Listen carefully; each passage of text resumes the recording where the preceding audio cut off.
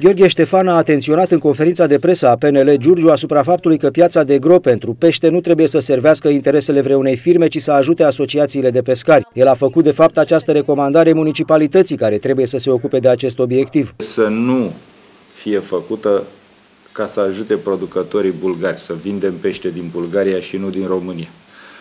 Pe de o parte. Pe de altă parte, îi propun domnului primar Barbu să folosească organizațiile de pescari de la Dunăre ca să le ajute să-și vândă producția proprie și nu peștele pe care o să-l aducă cu siguranță, vă spun, o firmă care va primi ca dar, cadou, probabil pentru alegerile următoare, funcționarea acestei piețe de pește făcută cu banii publici.